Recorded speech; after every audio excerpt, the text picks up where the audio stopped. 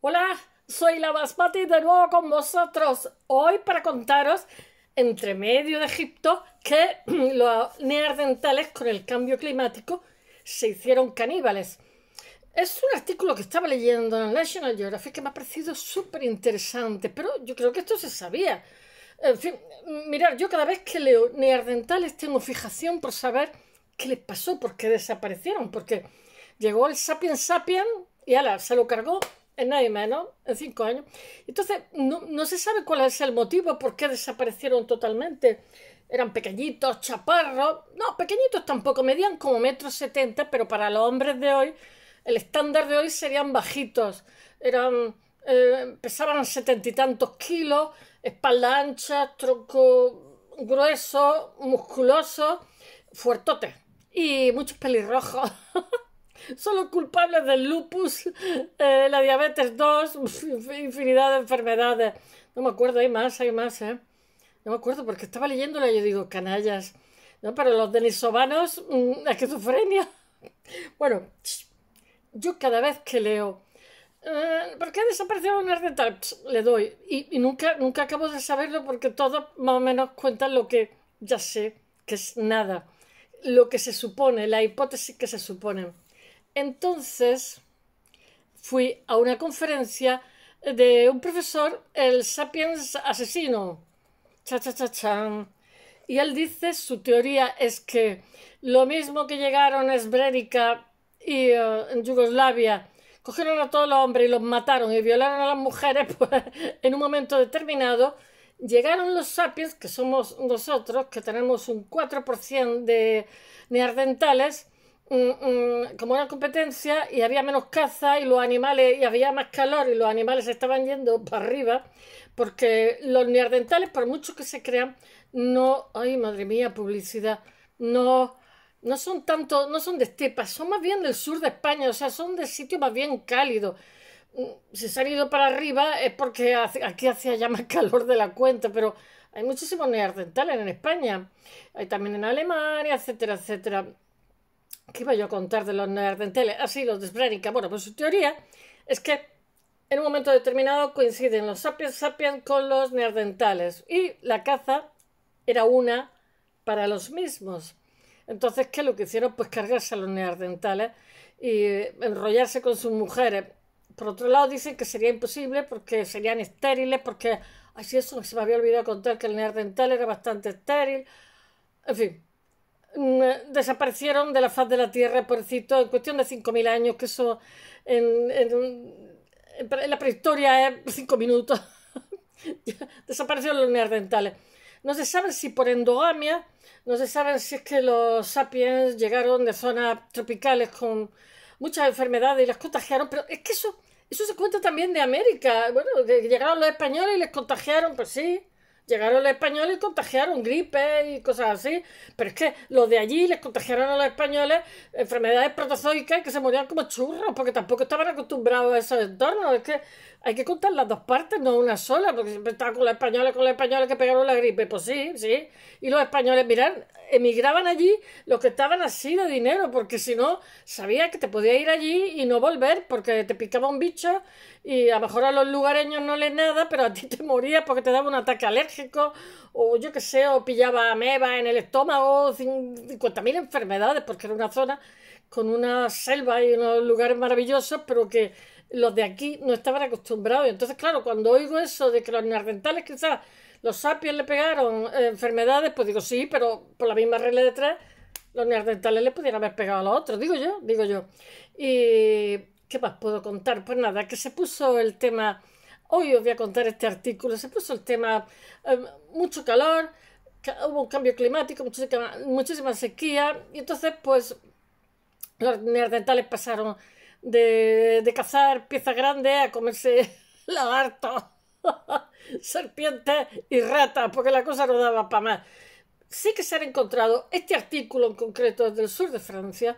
Entonces ellos hacen, eh, elaboran una hipótesis a partir de lo que han encontrado. O sea, encuentran estratos mucho más bajos de tiempos anteriores donde sí que hay restos de animales de mamíferos grandes. Pero el hecho real es una cosa. Es que eh, bienvenido Martina Navarro, que me encantó y me hizo una yo le dije, como los discos dedicados, por favor, una dedicatoria. Dice, para Rosa, de un sapien pacífico.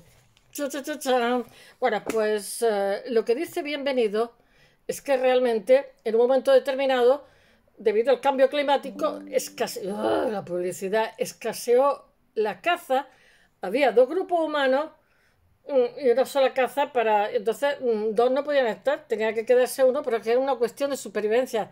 Ya, ya teníamos espíritu, y entonces los, los sapiens eran menos, menos forzudos, con peor dentadura, no la usaban para luchar ni para eh, peor mandíbula, estaban peor eh, equipados para la naturaleza, pero eran más pillos o fueron más malvados y, se cargaron a los otros, se los cargaron, ¿eh? Eso, vamos, que venga quien quiera y diga lo que quiera. Que evidentemente eran más numerosos, posiblemente eran menos endogámicos, eh, porque se ha estado viendo que las mujeres cuando iban a tener relaciones se iban a otros grupos, porque se habían dado cuenta que la endogamia hacía individuos más débiles.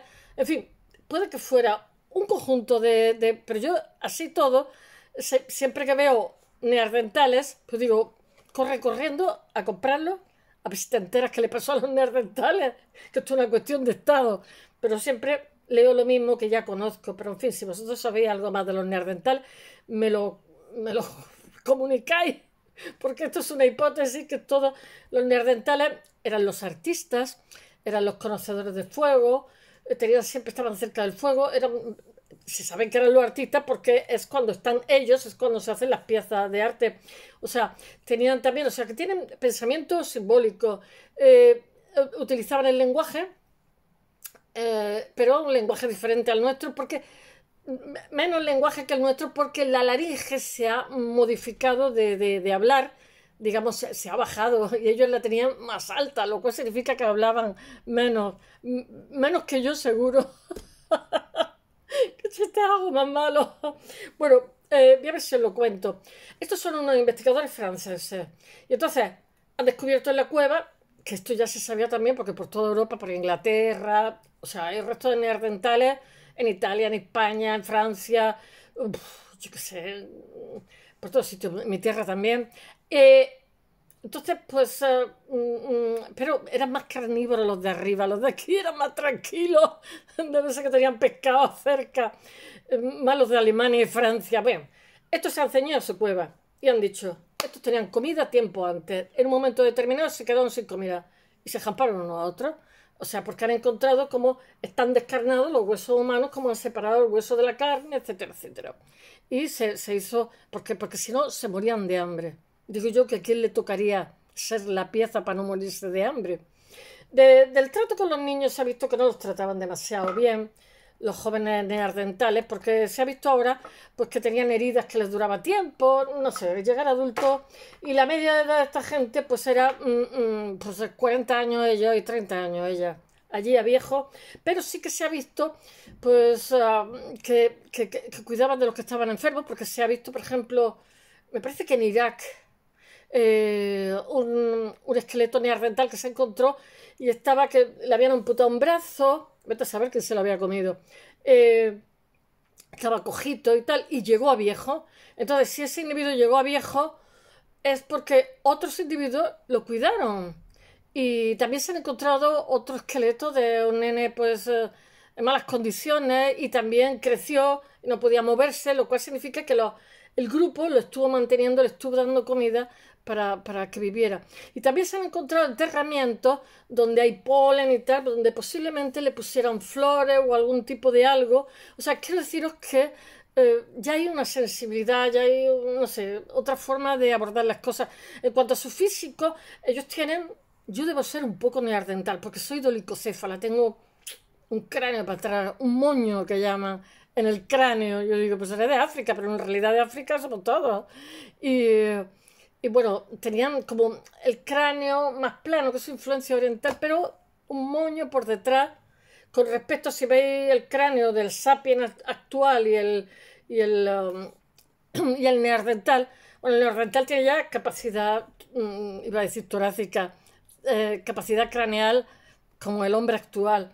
Y uh, más publicidad. Eh, pues um, ya no sé lo que estaba diciendo. Así, la capacidad craneal. Tiene la cara más aplastada, ¿qué puedo decir más? Eh, tiene mm, mm, la mandíbula fuerte, tiene capacidad intermolar, tiene los arcos, estos de aquí ya no los tiene. Eh, en fin, tiene unos rasgos, quitando que está, que está fuertote y que es pelirrojo, tiene unos rasgos. Eh, tiene unos rasgos, muchos dicen que la, digamos, el esquema físico que tenía era de frío. Y yo digo que no, que este hombre no era de estepa, este hombre era mm, de aquí, del sur de España y del sur de Francia, era meridional, que llamamos, o sea, más bien temperaturas templadas, nada, soportó los fríos como, como, todo hijo de vecino, las glaciaciones, pero era de, de, de, Lo que pasa es que conforme se fue calentando el ambiente, pues ellos pues tuvieron, mm, se fueron quedando sin comida y hicieron de mangas capirotes, no sé lo que se comerían. Me imagino que la gorda del grupo. si hubiera sido como mañana, lo mismo me comerá a mí. Bueno, vamos a ver si lo cuento. La temperatura sube. Los hielos de Europa se fuman. Ya sabéis que había muchos sitios que estaban unidos al continente. Por ejemplo, Inglaterra no era una isla, estaba unida. Podía ir andando a los Países Bajos o a Noruega si querías. Pero en el momento que se fundieron los hielos, pues países, o sea, islas como Java, que tampoco que era una isla, estaba también unida claro, pues se quedaron mm, independientes de, los continentes. No sé yo, Madagascar, no tengo ni idea. Pero infinidad de sitios que conocemos como islas de toda la vida, pues no eran islas, eh, eran independientes del, continente, o sea, eran, eran continentes, y al fundirse los hielos, pues pasaron a ser islas, subió el nivel de las aguas. ¿Qué está pasando ahora? Se está fundiendo. Ahora lo que pasa es que están estudiando la manera de revertir el CO2 que tenemos en la atmósfera, que es el que está provocando el cambio climático. Están viendo a ver si son capaces de hacerlo. Ojalá, porque tenemos demasiado CO2, que es el que está provocando todos los desastres. En fin, ¿por dónde voy? Eh, la temperatura sube, los hielos de Europa se esfuman y el nivel de los océanos y también, ¿cómo se llama? Los glaciares. Los, yo, vivo en zona periglaciar. Lo sé porque estoy rodeada de arcillas. Es que lo estudié hace poco. Y uh, estamos a tres horas de África, no podemos ser glaciares. Eh, no pudimos tener glacializa glacialización, iba a decir glaciaciones fuertes. Eh, bueno, el nivel de los océanos asciende, ¿por dónde iba yo? Y lo que pasa es que eso provoca una escasez de presas habituales y lleva a, los, nuestros ancestros eh, pobladores del sur de Francia a practicar el canibalismo. Mucho tiempo se ha estado discutiendo si era ritual o por qué en algunas cuevas, porque esto es más abundante en Francia y en, en Alemania. Aquí no se han encontrado uh, rasgos de canibalismo. No lo sé, no lo sé. Creo que no, ¿eh? Eh, seguro que alguien me dice, ah, no sabes que no sé qué, pero yo creo que no, yo creo que más para arriba son más bestias de carácter. bueno, eh, en Francia, pues que estos investigadores dicen que se practicó canibalismo, porque había escasez de, de papas para poder sobrevivir. Si eran un grupo, lo que no sé es que le tocó ser la presa. El cambio climático, si se comieron al mayor, estaría más duro. El cambio, lo mismo tenía más proteína. El cambio climático que se produce, digo, de verdad no me hagáis. El cambio climático que se produce al final de la glaciación del RIS provoca. Esto ha sido publicado ahora mismo en una revista internacional muy prestigiosa, ¿eh? que no admite eh, cualquier cosa. O sea, que si estos investigadores han publicado ahí ese artículo, es un artículo bien documentado, para que podamos estar o no de acuerdo, pero no es una especulación que se ha sentado un día y al siguiente han llegado a la conclusión. Bueno, que el cambio de. que la glaciación del río produce cambios drásticos en la vida de las especies que habitan el planeta. O sea, África se, en esta época se empieza a desertizar, por eso el Sáhara estaba llenísimo de bichos y era más verdecito. Entonces, pues empieza la gente migra y los animales emigran. Uno de los ejemplos más terribles que se produce en la cueva de Moulay-Gercy, que es el sur de Francia, donde el, repentino calentamiento global lo que pasa es que obliga a un grupo de neandertales, mis preferidos, a recurrir al canibalismo para sobrevivir. Esa es la hipótesis. Me imagino que la argumentarán bien porque los periodistas te hacen un resumen. Lo que habría que leer el artículo original. La penúltima era glacial hubo seis glaciaciones. ¿eh? Del Pleistoceno habría terminado hacia 10.000 años antes de nuestra era, que serían como 12.000. Eh, los hielos se habían retirado de gran parte de Europa y la temperatura global había subido varios grados y el nivel de los océanos, pues tres cuartos lo mismo, asciende varios metros. La alteración de los ecosistemas es que aquí el que sobrevive el evolucionismo de Darwin es el que sobrevive a los cambios, ¿eh? porque si a los cambios no sobrevive, ¿qué? te mueves. Provoca una redistribución geográfica de la flora y la fauna. Bueno, los grandes mamíferos. Es decir una cosa, este señor, que es aparte de todo geólogo, dice que el, neandertal desaparece cuando desaparecen los grandes mamíferos y que él cree que allí no hay casualidad. Eso lo carga el hombre. ¿eh?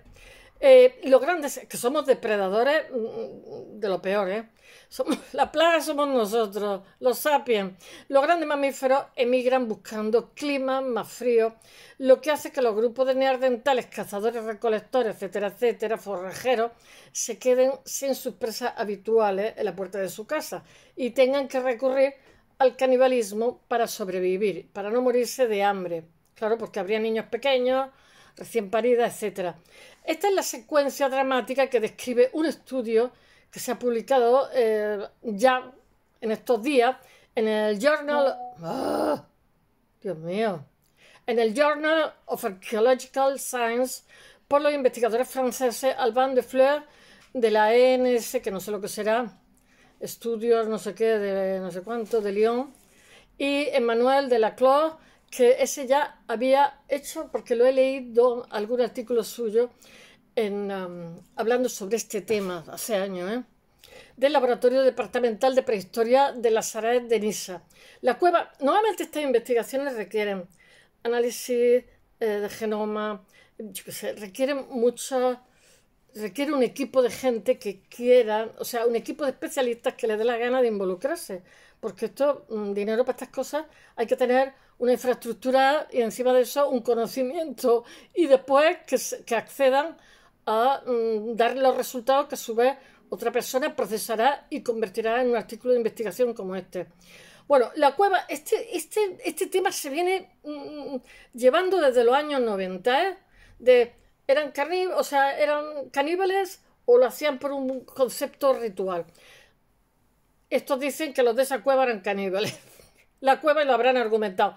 De Moulin-Gercy es un yacimiento del Pleistoceno que está ocupado por los neandertales de hace más de 100.000 años.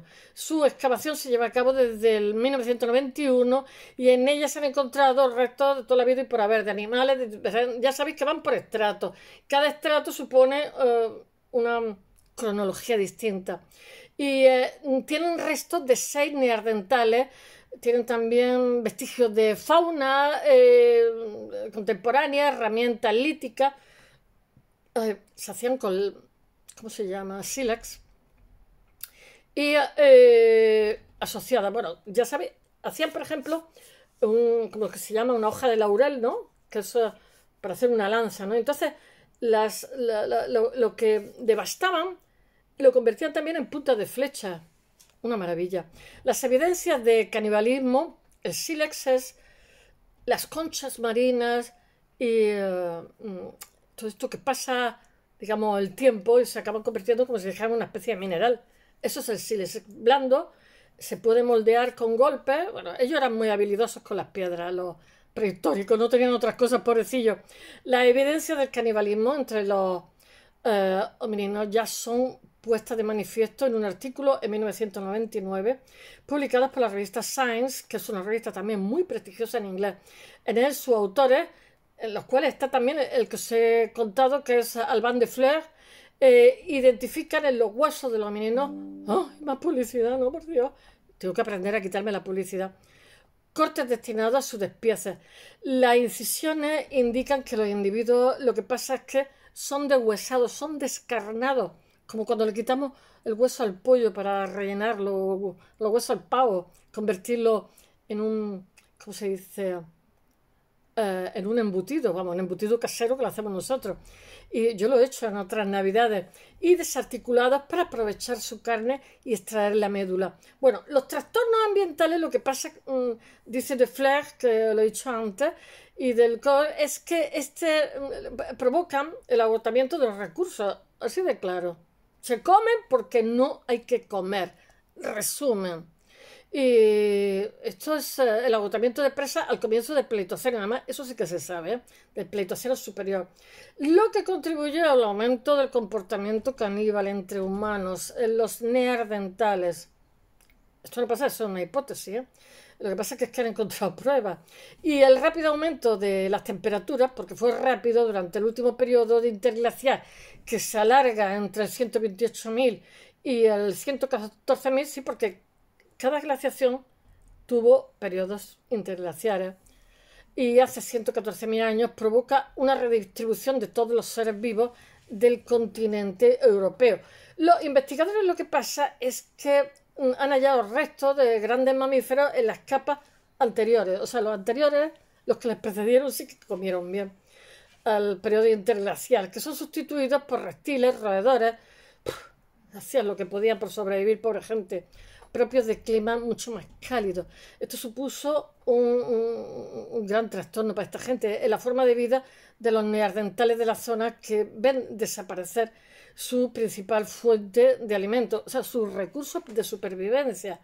Eh, bueno, estos investigadores lo que dicen es que el bosque templado es un hábitat en el que los grupos de cazadores recolectores, como los forrajeros, como son los neandertales, tienen dificultades de adaptación. Los investigadores sugieren que el aumento de temperatura eh, registrado en esta época, en la era interglacial, provoca los cambios en el entorno que acaban mm, modificando totalmente el comportamiento de los neandertales y explican el canibalismo como una, una práctica totalmente de supervivencia, yo lo entiendo también, y no de ritual religioso ni nada que se le parezca. El canibalismo es documentado en homininos en otras ocasiones a lo largo de Europa durante los últimos 100.000 años, sí, en Alemania también, ¿eh? Pero la cueva del Mulangue sí es el yacimiento en el que esta práctica se ve con... está más documentado y se ve con más claridad. Uh. Bueno, espero que os haya gustado y hasta mañana. Bye.